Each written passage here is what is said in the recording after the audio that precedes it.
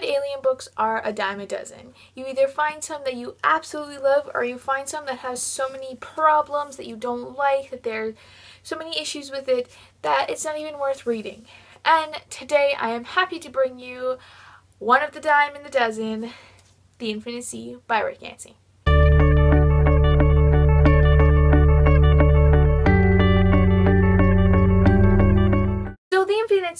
Most anticipated sequel to The Fifth Wave by Rick Yancey. I am doing a spoiler-free review of this book, but be warned, if you haven't read The Fifth Wave, you will be spoiled for things in that book. So first off, I'm going to say that I love this book.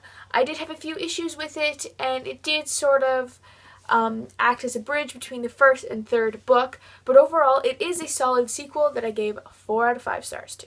So the Infinite Sea picks up at the end of the fifth wave where our characters, uh, Cassie, uh, Cassie's brother Nugget, Zombie, Ringer, Teacup, Poundcake, and Dumbo are waiting at this hotel kind of place for Evan to come back. And the group is divided. You can, the tensions are on high. They can't agree on a plan. On a plan, the plan they do have is flimsy at best, and the characters just don't get along. They constantly clash um, with the stress that they're under and the decisions they have to make. In this book, we get a few new perspectives. And one of the new perspectives that we get is Ringers. And she was one of my favorite characters uh, that was introduced near the end of the fifth wave. Although we don't get much of her in that book, we get a lot of her in this book, and I'm so glad for it because she's easily shot to my favorite character. Um, you get her backstory, and a big chunk of this book is actually told from her perspective. I would say almost half of it is from Ringer's perspective. But the one thing I do want to say to you about this book is that it is incredibly shorter. It's about, I think, 180 pages, almost 200 pages shorter than The Fifth Wave. And that has a tremendous impact on the events that can happen in the book and the overall plot line. I, when I picked this up, I was kind of disappointed by how small it was. It's so tiny compared to The Fifth Wave. So I kind of went into this thinking like, wow, nothing's going to really happen and it's just going to be kind of a bridge.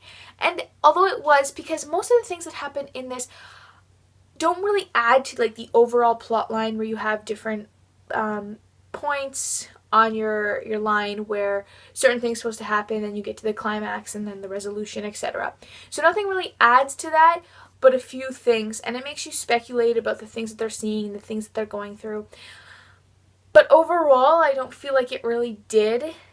Um, this isn't a slow-paced book by any means, so don't take what I'm saying about it not adding anything to the over plot line as a slow-paced book. It is fast-paced. There's so much action in this book. Rick Yancey's writing, of course, is phenomenal. A plus, just like it was in The Fifth Wave. He has this very sink or swim kind of writing style. When things happen, he doesn't directly tell the reader what just happened, what this mean, and what kind of the trajectory, trajectory or the prognosis of what's going to happen in the future.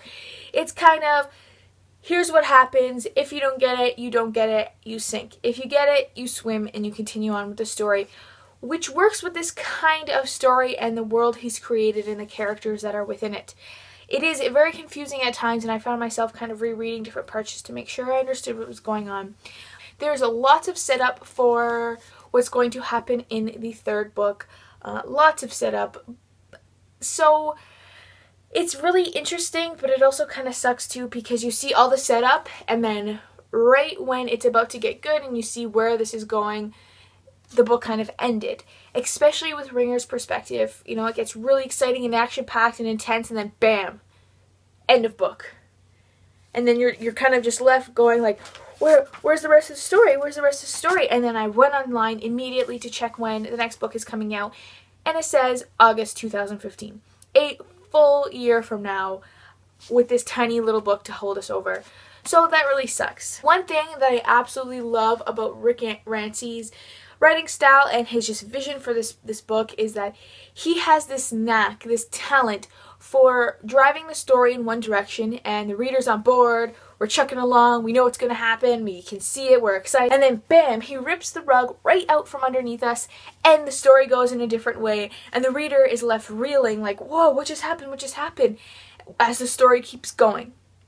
So you have to, it's kind of like, it's always a game of like catch up with his writing and that's so fantastic because it leaves the story to be unpredictable and you can't really tell where it's going. There's this one part that just left me totally I was just my mind was just blown by how crazy uh, the kind of like not a plot twist but where the plot was going and then boom in a different direction and just ups the intensity and the craziness by another notch. So I definitely love that about this book.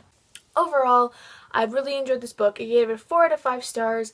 Um, it's such a fantastic and solid sequel. I just wish that we got a little bit more from it. Maybe, you know, like 50 to 100 pages longer of a little bit more story. Maybe a little more answers. Maybe that are a little more clear and not so cryptic. But overall, I definitely love this and I cannot wait for the third book because this one really makes you yearn for it.